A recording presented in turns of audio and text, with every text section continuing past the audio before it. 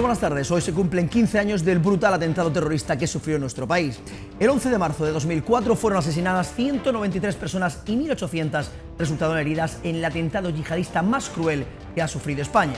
Para honrar su memoria y la de todos aquellos que han sido víctimas del terrorismo, el alcalde de la ciudad de Almería, Ramón Fernández Pacheco, acompañado del coronel Soriano y miembros de la Asociación de Víctimas del Terrorismo de Almería, han querido conmemorar este día con la lectura de un manifiesto en la que se insiste en la necesidad de pedir justicia, verdad, dignidad y memoria para todas las víctimas y sus familiares. Y es importante que lo dejemos bien claro, que lo dejemos por escrito, que tenemos que vivir sin miedo, tenemos que vivir sin miedo, pero no tenemos que vivir sin memoria. Tenemos que recordarlo, como digo, qué pasó, tenemos que contar a las generaciones venideras qué es lo que pasó y además tenemos que contarles la verdad porque las víctimas del terrorismo merecen ser recordadas. Y hoy el consejero de Educación y Deportes de la Junta de Andalucía, Juan José Imbroda, ha visitado el Ayuntamiento Capitalino en un encuentro que el alcalde ha calificado de histórico, ya que es la primera vez que un consejero de Educación visita el consistorio almeriense.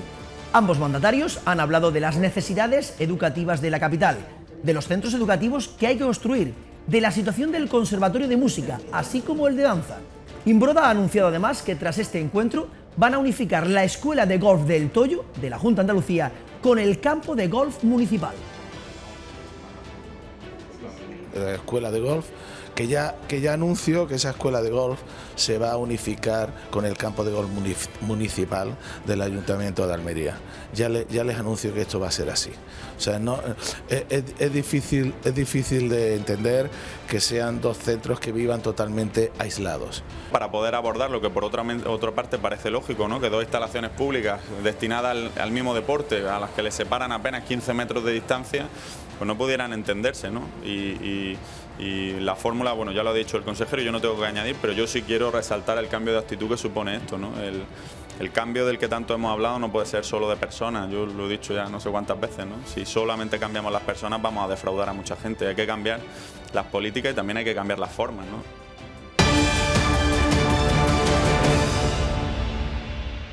Lo contábamos al principio de nuestro informativo. Hoy se cumplen 15 años del brutal atentado terrorista que sufrió nuestro país.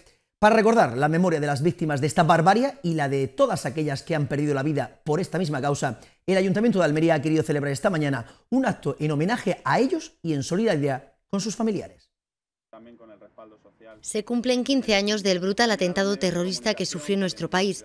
El 11 de marzo de 2004 fueron asesinadas 192 personas y cerca de 1.800 resultaron heridas en el atentado yihadista perpetrado en los cercanías de Madrid una fecha que ha quedado retenida para siempre en la memoria de todos los españoles y que no debe ser olvidada por las nuevas generaciones. Tenemos que explicarle a nuestros hijos y a nuestros nietos qué es lo que ha pasado en España, cómo los españoles se han levantado y han luchado frente al terrorismo,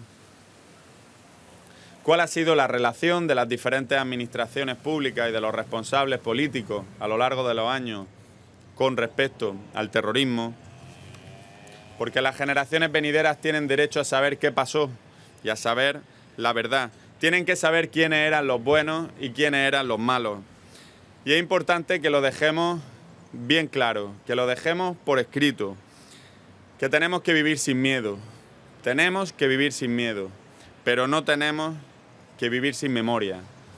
Tenemos que recordarlo, como digo, qué pasó, tenemos que contar a las generaciones venideras qué es lo que pasó y además tenemos que contarles la verdad porque las víctimas del terrorismo merecen ser recordadas. Para honrar su memoria y la de todos aquellos que han sido víctimas del terrorismo, el alcalde de la ciudad, Ramón Fernández Pacheco, acompañado del coronel Soriano y miembros de la Asociación de Víctimas del Terrorismo de Almería, han querido conmemorar este día con la lectura de un manifiesto en el que se ha insistido en la necesidad de pedir justicia, verdad, dignidad y memoria para todas las víctimas y sus familiares. Verdad, memoria, dignidad y justicia Cuatro palabras que, además de ser el lema de la Asociación Víctima del Terrorismo, representan los cuatro pilares sobre los que debe sustentarse cualquier modelo, programa, proyecto que pretenda colocar a la víctima del terrorismo en una posición central. Cuatro palabras que de tanto repetirlas corremos el riesgo de difuminarlas o incluso vaciarlas de contenido.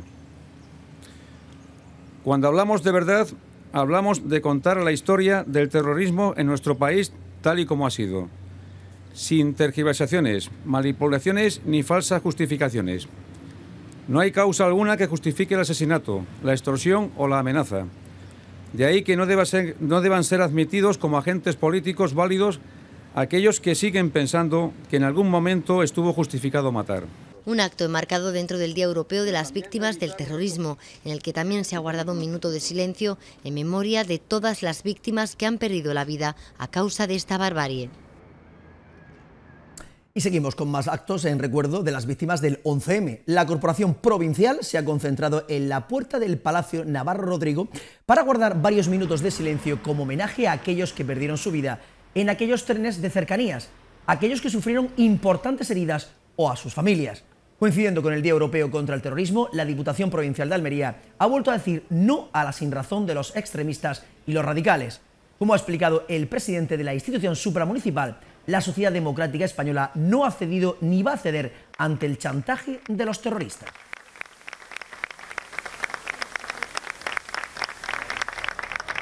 Cuando precisamente hoy, hace 15 años que tuvimos los trágicos atentados de Madrid, Hoy es el Día Mundial precisamente de Día Europeo de las Víctimas del Terrorismo, el día 11 de marzo, pues la provincia de Almería quiere estar al lado precisamente de esas víctimas. Condenar con todas nuestras fuerzas cualquier ataque terrorista eh, eh, en España y fuera de España, como no puede ser de otra manera, y queríamos eh, de alguna manera hacer visible el compromiso que tiene esta provincia para con toda y cada una de las víctimas del terrorismo.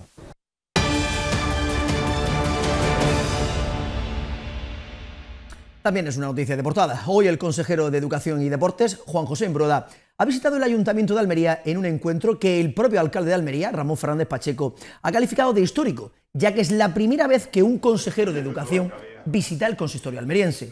Ambos mandatarios han tenido la oportunidad de hablar de las necesidades educativas de la capital almeriense, de los centros educativos que hay que construir, de la situación del Conservatorio de Música, así como el de danza. Imbroda ha anunciado además que tras este encuentro van a unificar la Escuela de Golf del Toyo de la Junta de Andalucía con el campo de golf municipal. Que ya anunció que esa escuela de golf se va a unificar con el campo de golf municipal del Ayuntamiento de Almería. Ya, les anuncio que esto va a ser así. O sea, eh, es, difícil, es difícil de entender que sean dos centros que vivan totalmente aislados no tiene ningún sentido. Entonces, quiero ya anunciarles que esto, se lo ha comentado al alcalde, pondremos en marcha a nuestro secretario general de deporte para que pronto pronto empecemos a hablar de estas cuestiones. Reunión para poder abordar lo que por otra, otra parte parece lógico, ¿no? que dos instalaciones públicas destinadas al, mismo deporte, a las que les separan apenas 15 metros de distancia, pues no pudieran entenderse. ¿no? y la fórmula, bueno, ya lo ha dicho el consejero, yo no tengo que añadir, pero yo sí quiero resaltar el cambio de actitud que supone esto, ¿no? El, cambio del que tanto hemos hablado no puede ser solo de personas, yo lo he dicho ya no sé cuántas veces, ¿no? Si solamente cambiamos las personas vamos a defraudar a mucha gente, hay que cambiar las políticas y también hay que cambiar las formas, ¿no? El propio alcalde de Almería, Ramón Fernández Pacheco, le ha entregado un dossier con las necesidades básicas de la capital, en el que ha remarcado que el consistorio de música es el único de toda Andalucía que no tiene auditorio. Hemos tenido ocasión de hablar de la situación de los conservatorios, por un lado del Conservatorio de Música, que como sabéis es el único de Andalucía que no cuenta con un auditorio, que comparte instalaciones con el Conservatorio de Danza y con el Instituto Alborán, con los problemas que eso ocasiona a los alumnos de las tres instituciones. Hemos hablado también del Conservatorio de Danza y de ese terreno que cedió el Ayuntamiento ya hace algún tiempo para su, para su construcción y la necesidad que tenemos de dotarlo. Hemos podido hablar también de la Escuela de Arte y la situación en la que se encuentra. Eh, con muchas situaciones similares, es decir, Almería no tiene, digamos, ninguna exclusividad referente a ese tipo de problemas, desgraciadamente. Está todo muy extendido en Andalucía y como ustedes saben, Andalucía es muy grande. Nos encontramos con ese tipo de problemas en todo el territorio, en todo el territorio. Y evidentemente analizar todo el territorio con todos estos problemas que nos van llegando, que nos estamos encontrando, nos estamos encontrando centros educativos que llevan 30 años esperando. El propio, a primera hora de la mañana, el propio consejero de Educación y Deportes visitaba la escuela infantil La Esmeralda, ubicada en el barrio de Los Ángeles. Se trata de un encuentro para tomar contacto real con el sistema educativo andaluz. El consejero ha asegurado que cada 15 días él y todo su equipo se van a ir desplazando a cada una de las provincias de Andalucía para conocer in situ la situación real que se vive en la educación, de la mano de los propios docentes, que son los que asegura realmente conocen las necesidades. Imbroda ha destacado además que van a seguir aumentando la escolarización en el primer ciclo de infantil y anuncia una ampliación de las plazas para el curso 2019-2020. Todo el equipo de la Consejería de Educación y Deporte tiene la intención de visitar todas las provincias andaluces Hemos empezado en Almería, ahora en estos momentos pues todo el equipo de, la consejería está desplegada por la provincia de Almería tratando un poco de conocer la realidad de lo más cerca posible. Se puede conocer, ¿verdad? Pero qué mejor manera de poder eh, tocar la realidad e intercambiar impresiones con toda la comunidad educativa de la provincia para conocer muy de cerca pues todas las necesidades reales y diferentes sensibilidades. En página política les contamos que el secretario provincial del Partido Socialista, José Luis Sánchez Teruel, ha dado a conocer esta mañana el trabajo que su grupo, el Grupo Parlamentario Socialista, está realizando y que esperan sean apoyados por el resto de fuerzas políticas. En concreto, exigen que los presupuestos de la Junta de Andalucía se presenten antes del inicio de la campaña electoral, que comienza el próximo 12 de abril. Destaca la importancia de que estas cuentas incluyan partidas que garanticen el buen funcionamiento del sistema educativo y también del sanitario, así como las infraestructuras comprometidas, como por ejemplo la autovía de la Almanzora. Confía en que estas cuentas salgan adelante antes de los comicios y espera que la estrategia no sea esperar el resultado de estas elecciones para poner en marcha otro tipo de políticas en estos ámbitos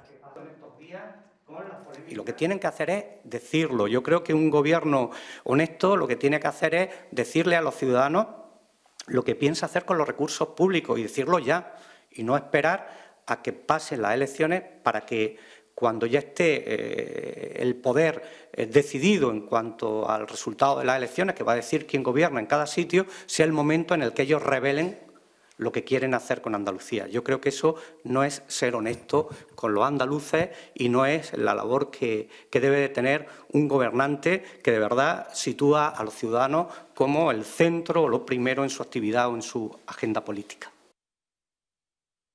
Por otro lado, Sánchez Teruela ha mostrado también su satisfacción por la confección de las listas de esta formación política, que han contado con el apoyo del 94% de los militantes.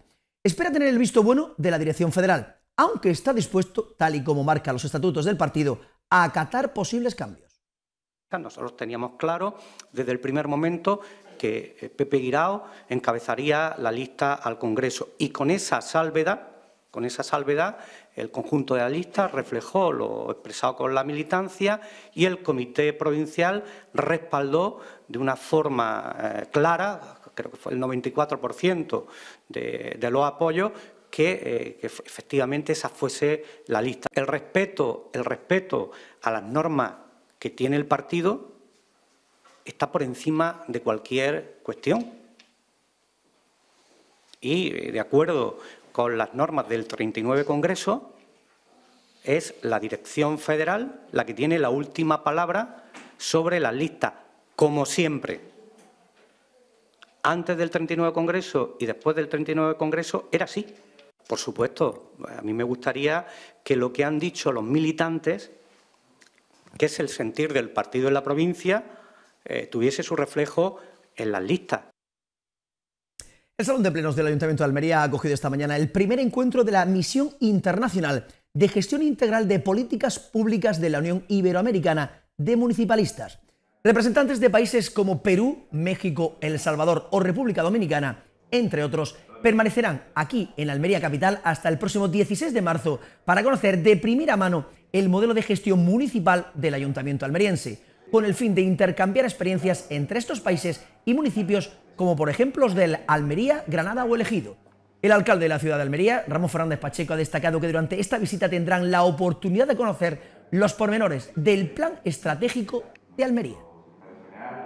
La verdad es que los almerienses nos sentimos muy orgullosos de que esas 120 nacionalidades diferentes de los cinco continentes, con cultura, con religión eh, y con costumbres tan dispares, pues encuentren en la ciudad de Almería un lugar de encuentro y un punto en el que desarrollar su proyecto de vida. Eh, y decía que estoy encantado de que puedan aprender o conocer todo lo que hacemos en nuestra ciudad, pero no les quepa ninguna duda de que nosotros también aprovecharemos la ocasión para aprender de ustedes, para eh, tomar buena nota. Eh, creo que esa es una de las principales funciones que tiene la WIM, eh, el intercambio de experiencias, el conocer cómo se hacen las cosas, cómo se implementan, cómo se innova en cuanto a la gestión pública. Almería, capital española de la gastronomía 2019, ha querido rendir hoy un homenaje a aquellos profesionales de la hostelería que con su trabajo diario hacen que Almería se convierta en un destino turístico atractivo, iniciando una campaña en la que dan las gracias a los camareros, como ha señalado la propia concejal de promoción de la ciudad y comercio, Carolina Lafita, los camareros son los auténticos embajadores de la hostelería almeriense, el primer contacto que tienen los turistas con los bares y restaurantes. Esta iniciativa cuenta con un elemento principal que es la palabra gracias, un término que une a los cuatro vídeos con los que les rendirán homenaje. Se trata de cuatro piezas audiovisuales, cada una con un camarero diferente como protagonista, que contará sus experiencias en el sector de la hostelería. Los vídeos serán difundidos por las diferentes plataformas digitales con las que cuenta Almería 2019. Hoy presentamos una campaña especial, una campaña a petición de la Organización de Empresarios de ASAL, eh, que realizamos, por, por supuesto, conjuntamente con ellos, con la que queremos dar las gracias a los camareros.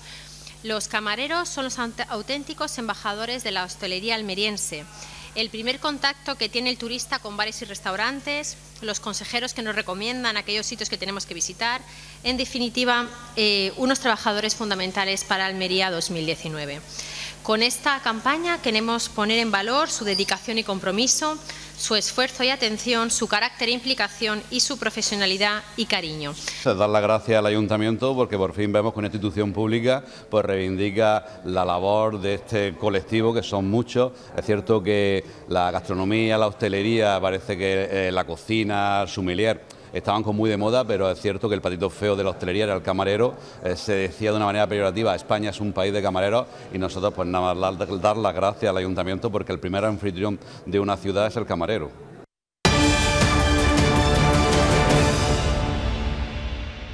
Almería celebró el tradicional entierro de la sardina, actividad con la que se pone fin de manera oficial a los festejos del carnaval que este año se han desarrollado en la ciudad desde el 9 de febrero, que empezara el concurso de agrupaciones, hasta ayer domingo, 10 de marzo, con esa mezcla de cansancio, dolor y alegría que predomina en un cortejo donde no faltaron ni las plañideras, ni el colorete y los chistes.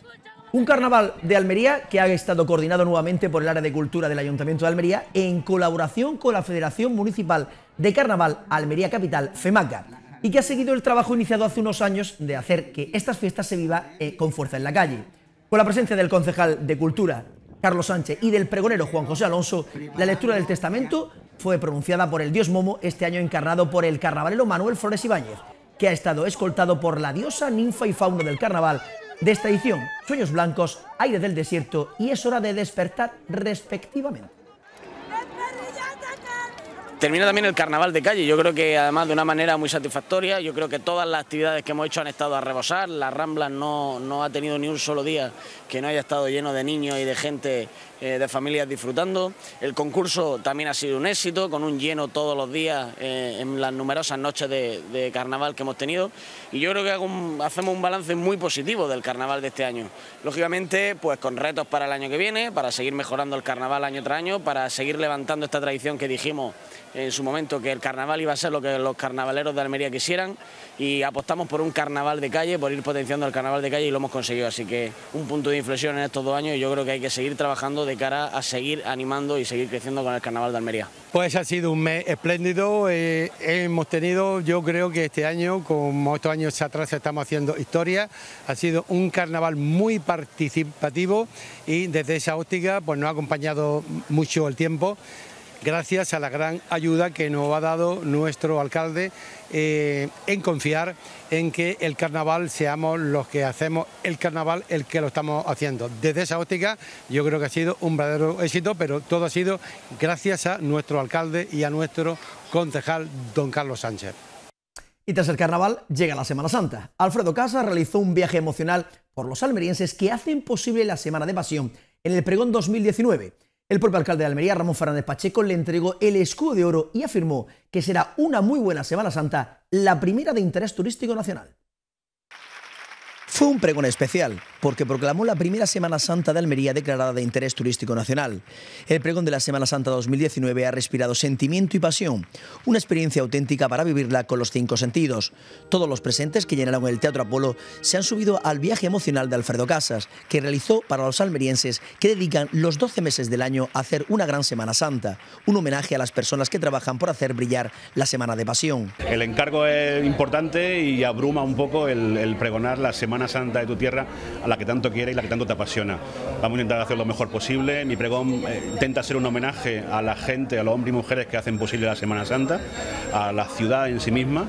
Con la música de la Banda Sinfónica Municipal, las saetas del Niño de las Cuevas, en un teatro Apolo elegantemente vestido y el pregón ofrecido por Alfredo Casas, muy implicado con el mundo cofrade personal y profesionalmente. La Semana Santa en Almería la hacen los almerienses, cofrades y no cofrades, que aportan lo mejor de sí para hacer los días santos, los mejores días del año de la ciudad, son ellos, cofrades y no cofrades, los que han conseguido que su trabajo sea catalogado de interés turístico nacional, los que hacen que nuestra Semana Santa sea grande. La ceremonia estuvo presidida por el obispo Adolfo González Montes y el alcalde de Almería, Ramón Fernández Pacheco, acompañados por la presidenta de la agrupación de hermandades y cofradías Encarnación Molina. La presentación del pregonero la realizó Isabel María del Pilar Fernández Calderero. El alcalde de Almería entregó, como ya es tradición, el escudo de oro de la ciudad al pregonero Alfredo Casas. Son miles y miles de personas las que trabajan de manera abnegada, eh, de manera totalmente altruista, los 365 días del año para que el resto podamos disfrutar, para que las calles de Almería se llenen de ese eh, museo eh, en la calle que suponen los pasos de las diferentes hermandades y cofradías. Es un día fantástico pues para, para vivir, vivir el, el pregón de la Semana Santa 2019 que ya ha llegado, ese esperado momento que tanto han y que, ya por fin va a ser realidad y que de alguna forma pues nos va a preparar, nos va a emocionar y, nos va a llevar de la mano pues, a esos días santos que, que nos esperan. Este pregonero del año 2019 ha narrado con detalle, deteniéndose en cada uno de los protagonistas, los que contribuyen a la estética de la Semana Santa y los que transmiten el sentimiento de la Semana de Pasión en un recorrido cofrade por Almería estos días de primavera. Si la Orquesta Ciudad de Almería lleva 17 años interpretando una partitura que suena a talento y trabajo a pie de página, tienen anotado el apoyo incondicional de sus patrocinadores principales. Por un lado el Ayuntamiento de Almería y Cajamar por el otro. Ayer, antes de delitar a un auditorio municipal Maestro Padilla Rebosar con un concierto basado en la primavera romántica, la cual quiso agradecer la implicación de ambas entidades en un homenaje a favor de los valores positivos de la música clásica, como bien ha sabido entender tanto el Ayuntamiento como la entidad financiera. El alcalde de Almería, Ramón Fernández Pacheco, recibió el galardón de manos del director de la local, Michael Thomas, mientras que el reconocimiento de la Alcajamar lo recibió y lo recogió María López, directora territorial de la entidad financiera.